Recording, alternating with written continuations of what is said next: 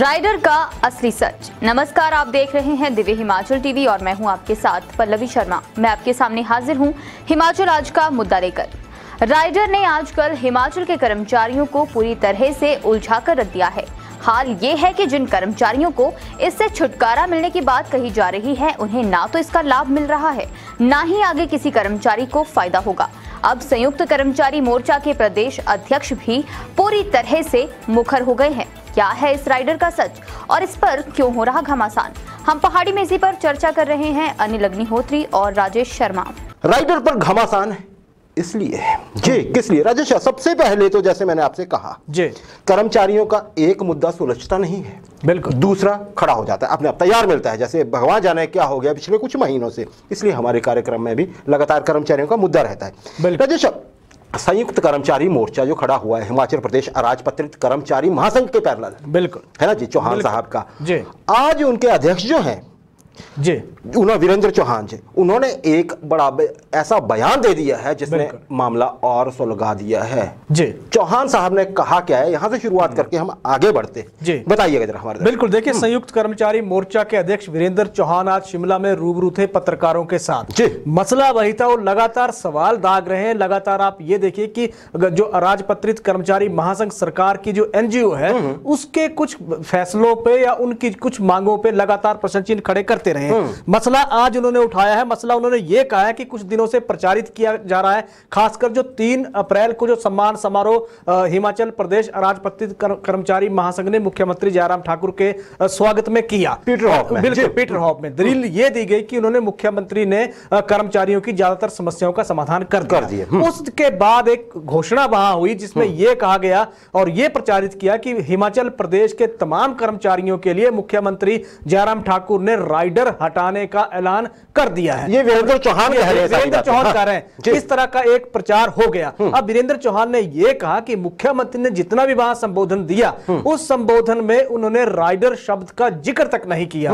तो फिर ये चर्चाएँ क्यों चल पड़ी हैं या प्रचार ऐसा क्यों किया जा रहा। है? बिल्कुल उन्होंने इस पे सवाल एक तरह से खड़े कर दिए हैं। अब राइडर पे आ जाते हैं अग्निहोत्री। तीन जनवरी 2022 है मुख्यमंत्री के उन्होंने कहा कि मुख्यमंत्री ने वहाँ कहा, क्या मुख्यमंत्री जयराम ठाकुर ने उस, उस समारोह में यह कहा कि तीन जनवरी 2022 को या 22 तक जिन भी कर्मचारियों का जो, जो भी कर्मचारी नियमित हो चुके हैं उनको हायर ग्रेड पे का लाभ मिलेगा। मतलब यह हुआ कि फिर तो राइडर हटा ही नहीं है वीरेंद्र चौहान बोल रहे हैं। क्योंकि सीएम ने तो सीधे तौर पे हायर ग्रेड पे के लाभ की बात कही है राइडर शब्द का इस्तेमाल नहीं किया है। अब इस पे बहुत बड़ा उन्होंने सवाल खड़े कर दिए हैं बहुत बड़ा एक उन्होंने मुद्दा सुलगा दिया है प्रदेश के कर्मचारियों के पक्ष में। जी राजेश बिल्कुल सही बात है। अच्छा इसमें यह चीज़ नहीं है कि चौहान साहब जो है कुछ स्पष्ट करना चाहते हैं बिल्कुल। वो एक्चुअली ये बता रहे हैं कि मसला आखिर है क्या बिल्कुल बिल्कुल अगर ये सच में ही राइडर है जी। अगर ये राइडर है जो मुख्यमंत्री ने कहा राजेश तो फिर बहुत बड़ी आशंकाएँ पनप रही हैं दूसरा, आशंकाएँ। राजेश ये पनप रही मैं अपना ये सवाल थोड़ा सा पूरा कर लेता हूँ आप इसको भी जोड़ लीजिएगा बिल्कुल। आशंकाएँ ये पनप रही हैं कि अगर ये राइडर है और इसका मौजूदा प्रारूप ही रहता है।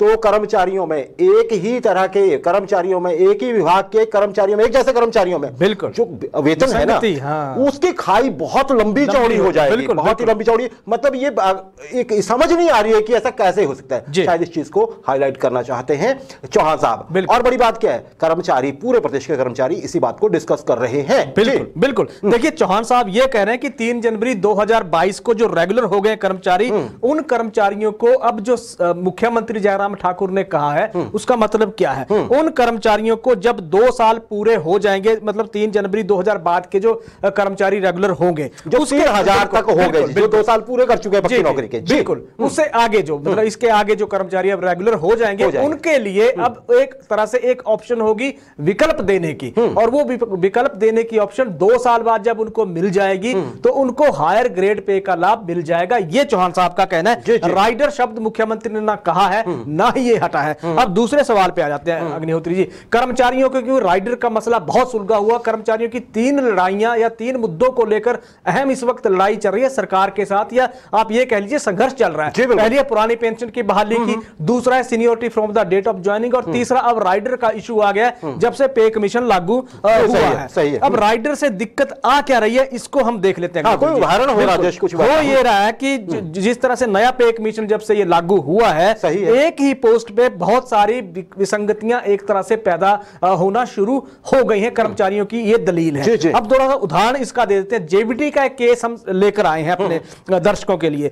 जेबीटी एक जेबीटी जो तीन जनवरी से पहले रेगुलर हो गया। मान लो दो साल की सर्विस बिल्कुल। पूरी कर दो साल की मान ली उसने सर्विस उसकी पूरी हो गई। अब दो साल बाद उसको टू नए वेतन जो स्केल जो आया है 2.25 फैक्टर से उसकी जो बेसिक सैलरी है तैतीस हज़ार चार सौ और अगर पंद्रह प्रतिशत वाली ऑप्शन लेता है तो फिर उसको उसके सामने जो होगी छत्तीस हज़ार छह सौ की उसकी बेसिक बत्तीस और छब्बीस हज़ार छह सौ ये बताए ना तैतीस तैतीस चार सौ और छत्तीस छह सौ इस तरह का एक उसका फिगर बन जाएगा। जी, जी। अब जो जेबीटी तीन जनवरी के बाद दो मतलब तीन जनवरी को इसके बाद जो लगेंगे या फिर दो साल बाद जो रेगुलर होंगे हाँ, हाँ। आप ये रख लीजिए 2024 में जो रेगुलर में जो, हाँ, बिल्कुल रेगुलर होगा। उन्हें मिलेगा बेसिक जो उनकी बनेगी इकतीस हज़ार चार सौ। और बेसिक में ही करीब करीब आप डिफरेंस इसको देख लीजिए हम्म। ये पाँच हज़ार दो सौ रुपए का डिफरेंस एक पैदा हो गया है। एक पोस्ट एक विभाग। और जो उनकी बेसिक सैलरी में जो फ़र्क दो साल के जो इसका आ रहा है कार्यकाल में आ रहा है वो पाँच हज़ार दो सौ रुपए का बेसिक में फ़र्क आ रहा है। राजेश इस तरह की कितना होगा? और जब बेसिक पे कैलकुलेट होगा तो एक कर्मचारी को एक ही टीचर को जो कुछ दिन बाद में उसके वो होगा। जी। उसकी और उसके जो कुछ दिन पहले पक्का हो गया है कुछ समय पहले पक्का हो गया है उनकी सैलरी में को दस हज़ार रुपए का अंतर आ जाएगा। बिल्कुल तो सही है। कहा जाएगा और और, ये तो ये ये का तो है ये हाँ। जेबीटी का सिर्फ़ उदाहरण है। इसी तरह के मसले आपको हर विभाग पुलिस- में, पुलिस हम्म। कर्मचारियों के मिलेंगे क्लर्क के मिलेंगे फॉरेस्ट गार्ड में इस तरह के मसले मिलेंगे। अब क्लास वन की पोस्ट को भी देख लेंगे हाँ, जी। जिनका राइडर तीन जनवरी से कुछ वक्त पहले खत्म हो गया मान लीजिए क्लास वन का उनका अलग स्केल बन रहा है। क्लास टू में जिनका राइडर तीन जनवरी के बाद खत्म होगा उनका अलग स्केल बन रहा है। क्लास थ्री में एक कैटेगरी और हो गई है जो रेगुलर होंगे तो उनके अलग अलग स्केल हो जाएँगे। अच्छा। अब इस पे भी सवाल खड़े हो गए कि एक एक कैटेगरी तो ऐसे भी है जिसका पे बैंड नहीं बदलता है सिर्फ़ ग्रेड पे बदलता है। अच्छा। उसको लाभ कैसे मिलेगा? सवाल यहाँ ये खड़े हो गए हैं। तो कर्मचारियों का एक एक अगर हम कहें तो कर्मचारी ये कह रहे हैं कि बेसिक में ही जब घाटा हो रहा है तो आगे चल पे तो चल के तो वो डिफरेंस और ज़्यादा बढ़ता जाएगा। इसीलिए कर्मचारी आप याद करिए कि राइडर के फेर में जो कर्मचारी फंसे हैं वो ये कह रहे हैं कि हमें 10 से पंद्रह हज़ार रुपए का घाटा हो रहा है। और वीरेंद्र चौहान की माने तो मुख्यमंत्री ने राइडर शब्द का ज़िक्र नहीं किया कि राइडर हम हटा रहे हैं। जी राजेश अब हो सकता है कि या तो देखिए दो चीज़ है वीरेंद्र चौहान साहब की। वो मुख्यमंत्री साहब के सपोर्ट में है या फिर वो ये चाहते हैं कि आप क्लैरिफाई करिए? हाँ बिल्कुल। यही चीज़ है ना राजेश। और दूसरी बात चाहे देखने वाले हमारे दर्शक कर्मचारी नहीं भी है वो भी इस चीज़ को समझिए बिल्कुल। मान लीजिए कल को आप आपके परिवार का कोई सदस्य कभी भी सरकारी नौकरी में हो तो ये कैसे एक न्याय संगत बात मानी जा सकती है कि आपसे कुछ समय पहले जो लग गया है जी। या उसी पद पे वो पक्का हो गया आप थोड़ा बाद में होते हैं तो आपकी कुल सैलरी जो होगी वो लगभग दस हज़ार रुपए का फ़र्क आ जाए एक जैसा आप काम कर रहे हैं बिल्कुल। तो मतलब ये तो एनोमली राजेश फिर तो ये वही चीज़ होगी आजकल जो एनोमली शब्द बहुत ज़्यादा चला है ना वेतन विसंगति इसके बाद-। मतलब यही कह रही है ना मौजूदा सरकार की वेतन विसंगतियाँ पुरानी है जी हम क्या करें बिल्कुल। लेकिन अगर ये फैसला सच में ही राइटर देखिए अगर तो जैसे वीरेंद्र चौहान ने कहा कि मुख्यमंत्री ने ऐसा नहीं कहा है। तो मुख्य देखिए अगर नहीं कहा तो पर प्रचारित तो वैसा ही हुआ है। हाँ, बिल्कुल। प्रचारित सरकारी माध्यमों से भी वही हुआ है। उसी और हिमाचल प्रदेश राजपत्रित कर्मचारी महासंघ ने तो बाकायदा कहा है हर मंच पे खड़े होकर। राइडर हटा है। और अगर ये राइडर हटा है और इस तरह से हटा है तो कर्मचारियों की बेचैनी बिल्कुल समझी जा सकती है और आने वाले समय में तो ये बहुत बहुत बड़ा मसला खड़ा हो जाएगा। बिल्कुल सही। है ना इसका जिम्मेदार कौन होगा राजेश?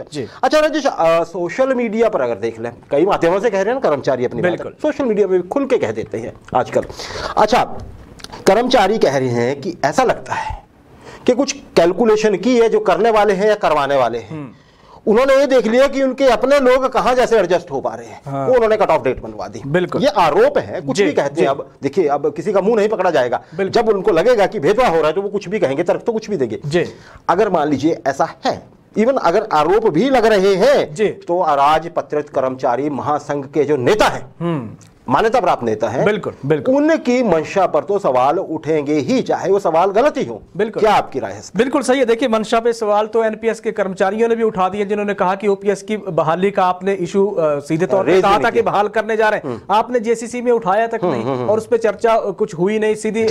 कमेटी ही बनाई जाएगी। हाँ, तो कर्मचारी किसके लिए बनाया बिल्कुल दूसरी। चीज़ जो वीरेंद्र चौहान ने आज कहा है उन्होंने तो उनकी समझ पे सवाल खड़े कर दिए एनजीओ की एक तरह से। अच्छा। उन्होंने ये कहा है कि ये पिछले जो आप आप ये देखिए तीन तारीख जो सम्मान समारोह जो हुआ वो उस सम्मान समारोह में जिस तरह के नारेबाजी वहाँ करवाई गई एक तो नारेबाजी कर्मचारियों के पक्ष में जो कर्मचारी लगा रहे हैं उन पे एफआईआर हो रही है उन पे केस दर्ज किए जा रहे हैं। दूसरी जो नारेबाजी सरकार के पक्ष में हो रही है वहाँ तो बल्ले बल्ले और वाहवाही उनकी हो रही है। तो वहाँ एक सवाल नारेबाजी पे भी खड़े उन्होंने कर दिए हैं। दूसरा वो ये कह मतलब रहे हैं कहना चाहता है प्रायोजित एक बिल्कुल। बिल्कुल दूसरा वो ये कह रहे हैं कि अब ये प्रचारित किया जा रहा है कि जो ये घोषणा हुई है इससे प्रदेश भर के अठारह हज़ार कर्मचारियों को लाभ मिलेगा। और जो इसमें जो बड़ी बात यह है कि क्योंकि राइडर के फेर, फेर में जब चालीस हज़ार कर्मचारी फंसे हैं उसमें मुख्यमंत्री जयराम ठाकुर की इस घोषणा से अठारह हज़ार को ही अगर लाभ मिल रहा है तो फिर बाईस हज़ार का क्या होगा? उनका कौन है? वो कहाँ गए? उनकी मांग अगर कोई उठा रहा है तो उनपे तो एफआईआर हो रही है उनको उनको, उनको तो कानूनी दायरे में लिया जा रहा है। तो इस तरह के सवाल उन्होंने आज खड़े कर दिए हैं और उन्होंने ये कहा है कि एनजीओ सिर्फ़ अपने लोगों के फ़ायदे वाली चीज़ों को सरकार के सामने रख रही है और सरकार को इस चीज़ का संज्ञान लेना होगा कम से कम दुष्प्रचार से बचना होगा। राजेश कई लोग ये कह रहे हैं कि जो कर्मचारियों की तरफ़ से जो संगठन है जी। इनकी जरा जब बात आती है उनके मानने की बात आती है तो सरकार को एक बार ठंडे दिमाग से सोच ज़रूर लेना चाहिए। है ना कि कहीं ऐसा ना हो चुनावी साल है। जी। है ना कि कहीं कुछ ऐसा हो कि मान लीजिए मैं कहीं ऐसी स्थिति में हूँ कि मैं फ़ायदा करवा सकता हूँ अपने कुछ लोगों का मैं फ़ायदा करवा के बैठ जाऊँ बाकी सारे खिलाफ हो जाए सरकार के। तो ये और राजेश इसमें एक और चीज़ भी हो रही है ये बोला जा रहा है। कि मान लीजिए अगर मुख्यमंत्री ने राइडर की घोषणा कर भी दी है तो वो तब तक अभी उसका कोई मायने नहीं है जब तक कि एक अधिसूचना जारी नहीं हो जाती। नोटिफिकेशन नहीं आती। बिल्कुल। और उम्मीद पूरी है कि परसों जब मंत्रिमंडल की बैठक हुई उसके बाद आ सकती है जी। तो राजेश ये कहा जा रहा है एक्सपर्ट भी कह रहे हैं जी। कि बेशक घोषणा कुछ भी हुई हो आप सारे मसले को देखिए और अधिसूचना फिर उसके अनुसार ही जारी हो। कोई जल्दबाजी में कहीं ऐसा ना हो जाए कि बड़ी सी एनोमली क्रिएट हो जाए। और फिर ये आर पार पे उतरा आई चीज़ें। क्योंकि सरकार काफ़ी कुछ मांगे मान भी चुकी है कर्मचारियों की और कई। मांग, मानने की राह पे है। लेकिन अगर एनोमली यहीं पे क्रिएट हो जाएगी फ़ायदा देते देते अगर कुछ लोग ऐसा मानने लगेंगे कि हमें नुकसान हो गया। तो मुश्किल हो जाएगी। राजेश क्या इस बारे में सोचना चाहिए सरकार बिल्कुल बिल्कुल। देखिए? सरकार ने तो अपने स्तर पर राहत देने की कोशिश की है। और बड़ी बात यह है कि मुख्यमंत्री जयराम ठाकुर के पास जो जो कर्मचारियों की मांगे गई हाँ, है हाँ, उन मांगों है, हम्म। सकारात्मक पक्ष उन मांगों के लेकर सरकार का अभी तक रहा है हम्म, बिल्कुल सही है। पॉजिटिव एटीट्यूड के साथ सरकार आगे बढ़ी है कर्मचारियों के सभी इश्यूज़ पे लगभग हम्म। बड़ी बात यह कि अधिसूचना से पहले मैटर कैबिनेट में जाएगा कैबिनेट से के बाद ये फ़ाइल सचिव के पास जाएगी उसके बाद ये नोटिफिकेशन फिर आएगी लेकिन तब तक जब तक ये दो तीन चैनल हैं तब तक मुझे लग रहा है कि इस चैनल पे सरकार क्योंकि अब गौर करेगी हो सकता है जो वीरेंद्र चौहान साहब ने आज जो सवाल खड़े किए उसमें सरकार को या वित्त विभाग को अभी तक उन चीज़ों की टेक्निकलिटी का पता ना हो। ये हो सकता है। अब क्योंकि उन्होंने सवाल जब खड़े कर दिए गए खड़े किए हैं तो वो तकनीकी पहलुओं का क्योंकि अब वित्त सचिव विभाग के पास फ़ाइल जाएगी तो वहाँ तकनीकी पहलू भी देखा जाएगा। ऐसा थोड़ी कि एक बार नोटिफिकेशन सीधी जारी हो जाएगी। उसमें तकनीकी पहलू देखे जाएँगे कि क्या वाजिब है किस तरह से लाभ देने हैं कि क्या परिस्थितियाँ बन रही। हैं। तो इस पे होगा ये अभी क्योंकि अध्ययन इस पे होगा वित्त विभाग का उसके बाद अधिसूचना तब तक करेक्शन शायद इसकी हो जाए। करेक्शन हो जाए और नहीं होती है तो फिर हम्म। सरकार चलिए अब देख के ही करेगी। और अब इसमें हम ज़्यादा अभी तो नहीं कह सकते हैं लेकिन ये ज़रूर है। बिल्कुल। राजेश बिना आग के धुआँ कभी उठता नहीं हम्म, सही है। ना? हो सकता है इस बार उठ गया हो लेकिन अगर धुएँ का कोई कारण है तो उसे अभी से एक्सटिंग करना उस आग को उस चिंगारी को अभी बुझाना आसान रहेगा है, है ना? आ, देखते हैं क्या होता है। एक दो एक दो दिन में स्थिति क्लियर हो जाएगी लेकिन ये पक्की बात है कि राइडर पे बड़ा अजीब सा और बड़ा ज़ोर का बवाल है। राजेश एनपीएस कर्मचारियों की आप ज़िक्र कर रहे थे उन पे भी कर लेते हैं। देखिए एनपीएस कर्मचारियों पे एफआईआर हुई कोई मना नहीं कर सकता बिल्कुल। मीडिया के सामने कैमरों के सामने उनको हटाया गया जहाँ पे वो धरने पे बैठे थे राजधानी में। कोई मना नहीं कर सकता।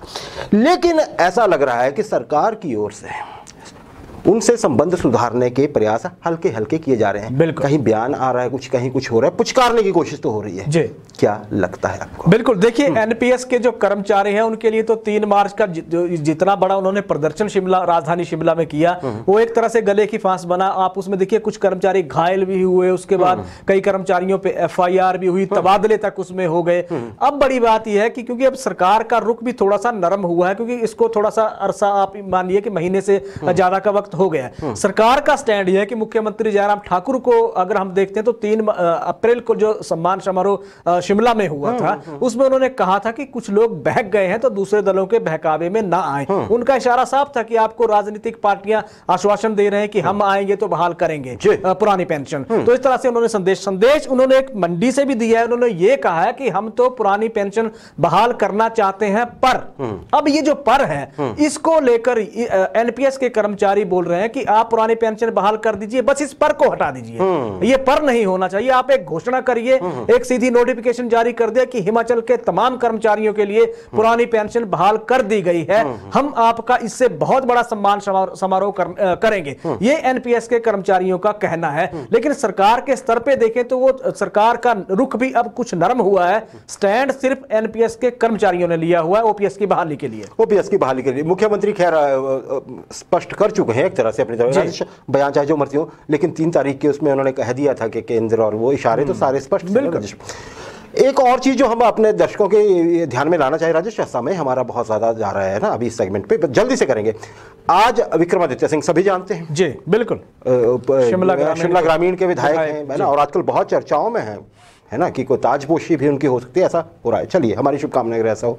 राजेश उन्होंने आज अपनी वॉल पे जो उनका फेसबुक पेज है उस पर एक चीज़ लिखी कि अगर हमारी सरकार बनती है दैट इज़ कांग्रेस की सरकार बनती है तो 12 घंटे 12 या 24 ऐसा कुछ लिखा है। 24, 24, हाँ, 24 घंटे के अंदर अंदर ओपीएस बहाल कर, जाएगी। बिल्कुल। अब एक तरफ़ ऐसे वादे हैं जी। और एक तरफ़ जो है वो चीज़ें स्थितियाँ समझाने की बात हो रही है।